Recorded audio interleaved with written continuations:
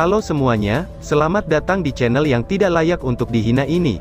Sebelum kita mulai, atur posisi santainya, bakar rokoknya, seruput kopinya, dan mari kita berhayal.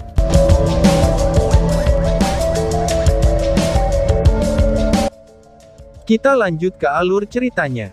Biaya ini terlalu tinggi. Faktanya, 10 kristal ajaib itu telah diperoleh dari almarhum para anggota pengawal naga hitam, yang telah mati selama beberapa kali perang di masa lalu. Alasan mengapa Huang Suo memilikinya pada dirinya sendiri adalah, bahwa Kaisar Iblis kemungkinan besar akan diserang oleh pasukan perburuan iblis manusia yang paling kuat setiap kali ia berangkat. Sebagai bawahan terdekatnya, dia membawa kristal magis ini sehingga dia bisa segera mengirimkannya ke Kaisar jika diperlukan.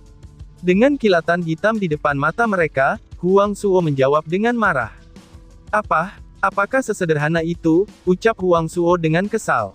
Long Hao Shen pura-pura mengingat sesuatu, sebelum menyatakan secara terbuka. Oh iya, masih ada lagi. Aku ingat bahwa iblis berpakaian oranye diperintahkan untuk melakukan sesuatu, setelah itu, mantra oranye secara khusus dilemparkan, dan langsung membatasi penjaga surga ilusi selama beberapa waktu. Tetapi pengguna mantra oranye ini meledak sendiri, dan mahkota warisannya ditemukan oleh Ah Bao. Ucap Long Hao Shen. Apa? Kali ini, dua penyihir berpakaian oranye mendekat. Rambut oranye panjang mereka ini telah mengklasifikasikan, bahwa mereka adalah praktisi kuat dari Star Demon Clan. Pada titik ini, keduanya yang memiliki wajah stagnan sampai saat itu, segera mengungkapkan keterkejutan mereka. Teknik nubuat besar. Ahbau sebenarnya memerintahkannya untuk menggunakan teknik nubuat besar, ucap seseorang dari klan iblis bintang. Sangat jelas, pernyataan Long Hao Shen tidak salah. Mereka tahu dengan jelas, karena deskripsinya tentang teknik nubuat besar sama sekali tidak salah. Lebih penting lagi, hanya teknik nubuat besar yang dapat menunjukkan utilitas yang begitu hebat, yang ingin benar-benar membatasi penjaga dari tempat ini. Huang Suo, kamu berutang penjelasan pada kami tentang masalah ini. Jika tidak, kamu harus membenarkan diri kamu di hadapan Dewa Iblis Bintang. Dua praktisi kuat klan Iblis Bintang mendekatinya, dan berkata dengan marah. Ekspresi Huang Suo semakin tidak sedap untuk dipandang. Hanya dia yang tahu, misi macam apa yang diberikan Kaisar Iblis kepada Ah Bao. Dia juga mengerti, bahwa alasan mengapa Long Hao Shen memilih waktu ini untuk mengutip detail ini adalah, bahwa dia ingin menabur perselisihan di antara barisan mereka.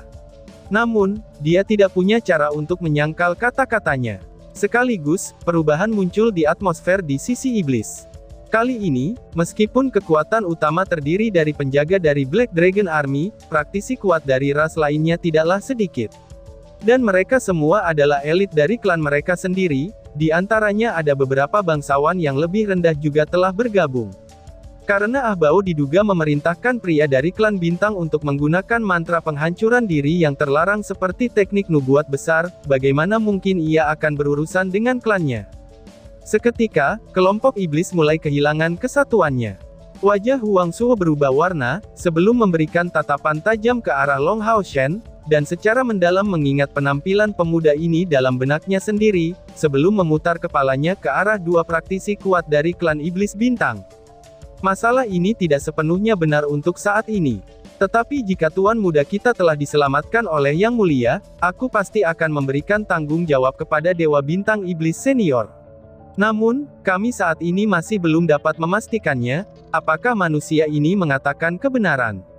Ucap Huang Suo. Dan tepat pada saat ini, kuil ilusi perlahan-lahan tenggelam, dan segera kembali ke dalam danau. Bahkan jika mereka ingin pergi memeriksa dan memverifikasinya, ini tidak bisa dilakukan lagi. Untuk mengatakan faktanya, bahwa mereka bahkan tidak dapat memasuki kuil ilusi. Disaring di belakang Ling Xiao dan Han Qian, Long Hao Shen perlahan-lahan mundur, dan bergerak di tengah-tengah praktisi kuat dari kuil aliansi. Huang Suo memberikan pandangan sekilas pada manusia-manusia ini, dan dengan marah memerintahkan. Ayo pergi. Setelah mengatakan itu, dia memimpin pusat kekuatan iblis untuk segera pergi. Ling Xiao tidak segera meninggalkan hutan ilusi, tetapi memanggil Long Hao Shen, Chai Ers dan Zhang Fang Fang untuk bertanya kepada mereka dengan cermat, tentang segala sesuatu yang terjadi di surga ilusi. Selain menyembunyikan faktanya, bahwa ia telah membawa kawan-kawan lewat Tower of Eternity, Long Hao Shen memberikan penjelasan rinci tentang waktu mereka di surga ilusi. Setelah akhirnya memberitahu mereka, bahwa kelompok Ahbao tidak berhasil menangkap Ye Xiaolei, ia hanya berbicara tentang binatang buas yang kuat di surga ilusi tanpa pujian yang berlebihan. Mendengar kata-kata Long Hao Shen, tatapan Ling Xiao menjadi tidak sedap untuk dipandang. Memang benar, kerusakan yang diderita oleh iblis kali ini cukup besar, tetapi aliansi masih berakhir sebagai pihak yang ditipu. Keilahian. Long Hao Shen tidak mengerti segala sesuatu tentang keilahian, tetapi sebagai praktisi dari tingkat ke-9 dan master pelayan kuil Pries, Ling Xiao memiliki pengetahuan tentang itu. Dia samar-samar menebaknya, bahwa Kaisar Iblis telah mencapai tingkat kultivasi tertentu, dan sekarang membutuhkan dewa untuk meningkatkan kekuatannya sendiri lebih jauh. Lebih jauh lagi, jika dia akan mencapai keilahian, kehancuran umat manusia mungkin benar-benar akan tiba. Pada saat itu, mungkin tidak ada manusia yang bisa menghentikannya. Dan keilahian ini sebenarnya terletak di surga ilusi. Sama halnya seperti Huang Suo yang tidak yakin akan kemungkinan Kaisar Iblis menang melawan naga peri itu, Ling Xiao juga tidak bisa memastikan apakah naga peri itu benar-benar dapat melindungi surga ilusi. Mencapai titik pemikiran ini, wajah Ling Xiao jelas terlihat pucat. Setelah beberapa saat ragu-ragu, ia menginstruksikan beberapa praktisi kuat dari kota Southern Mountain agar tetap tinggal di belakang untuk melindungi hutan ilusi, dan setelah memberikan beberapa perintah untuk melaporkan berita apa pun kepadanya, mereka akhirnya membawa semua orang kembali ke kota Southern Mountain. Meskipun Han Qian terkejut atas faktanya, bahwa Kaisar Iblis dapat merobek ruang surga ilusi, dia saat ini masih dalam suasana hati yang cukup baik. 10. Ini adalah total 10 kristal naga iblis. Sebagai kristal ajaib dari naga iblis pada tingkat ke-9, benda-benda ini adalah harta langka. Bisa dikatakan juga, bahwa setiap kristal naga iblis dapat dinilai sama dengan peralatan di Epic Tier. Dari sini, dapat dilihat betapa berharganya mereka. Meskipun mereka dari unsur kegelapan, energi yang dikandungnya sangat murni, dan jika berada di tangan seorang Grandmaster, penggunaannya tidak akan ada bandingannya. Long Hao Shen pada awalnya menyatakan keinginannya untuk menawarkan kristal magis ini sebagai hadiah murni untuk kota Southern Mountain, tetapi bagaimana mungkin Ling Xiao dapat menerima hadiah yang begitu hebat ini? Ketika Long Hao Shen mengklaim bahwa mereka adalah imbalan untuk permata ilusi, Ling Xiao akhirnya setuju untuk mengambil dua. Han Qian langsung menerima tiga kristal tanpa syarat. Walau bagaimanapun, dia adalah guru besar Long Hao Shen, dan hal-hal ini tentu akan lebih bermanfaat baginya daripada bagi Long Hao Shen. Lima sisanya diberikan kepada Long Hao Shen, dan bahkan ketiga kristal itu tidak diambil oleh kuil ksatria secara gratis. Mereka akan ditukar dengan poin kontribusi. Sedangkan untuk jumlah spesifiknya, Long Hao Shen tidak bertanya, tapi bagaimanapun setelah kembali ke kota suci, di mana menara misi pasukan pemburu iblis berada, ia akan tetap mengetahui jumlah itu ketika ia menerima misi berikutnya. Operasi kali ini adalah kegagalan bagi iblis, tetapi itu masih jauh dari dianggap sebagai keberhasilan bagi manusia, dan mereka mungkin akan memiliki banyak hal untuk ditangani setelahnya. Dalam perjalanan kembali, Long Hao Shen menyuruh Ling Xiao mengobati luka CR. Setelah dia baru saja mendapatkan kristal ajaib dari dua naga iblis, Ling Xiao tentu saja tidak akan membiarkan apa pun terjadi, dan benar-benar menggunakan mantra penyembuhan dari tingkat ke-9. Sebelum kembali ke kota Southern Mountain, Chai Er dirawat dengan mantra penyembuhan yang kuat, yang bahkan meningkatkan energi spiritualnya. Setelah kembali ke kuil Pries, Han Qian dan Ling Xiao tidak dapat lebih banyak memperhatikan Long Hao Shen, karena mereka semua sibuk dengan pertemuan. Long Hao Shen dan Chai Er sementara waktu ini berpisah dengan Zhang Fangfang, dan kembali ke kamar pribadi mereka di lantai bawah tanah. Hao Shen, ada apa denganmu? Mengapa kamu terlihat sangat gelisah? Tanya Chai Er sambil menatap ragu ke Long Hao Shen yang tampak pucat. Long Hao Shen menjawab dengan suara serius. Ini Hao Iwei, dia memanggil aku. Aku takut dia menemui masalah dengan evolusinya. Chai Er, aku harus segera bergabung dengannya. Jawab Long Hao Shen. Bawa aku juga, karena peraturan surga ilusi dapat dilanggar, dunia dari mana Hao Iwe berada, itu pastilah sama. Satu-satunya masalah adalah, ini belum 6 jam sejak penggunaan terakhir menara. Ucap CR. Long Hao Shen menggelengkan kepalanya. Tidak perlu lagi selama 6 jam. Balas Long Hao Shen. Dia tidak punya waktu untuk penjelasan lebih lanjut, dan segera menarik tangan CR, lalu kembali ke Tower of Eternity dalam sekejap di bawah kilau emas Eternal Melody.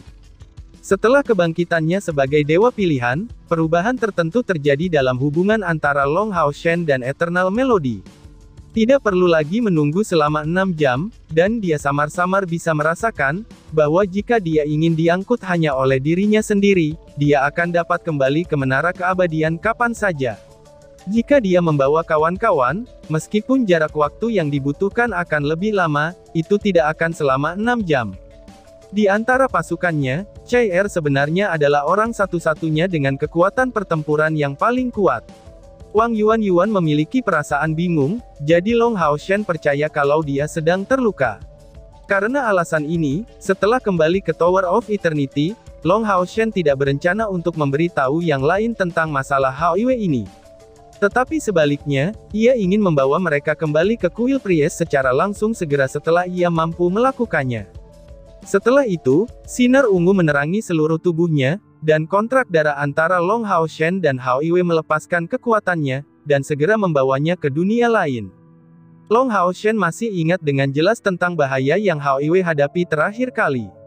Pada saat itu, Long Hao Shen hanya menjadi kesatria dari tingkat keempat, yang kekuatannya jauh dua tingkat di tingkat keenam.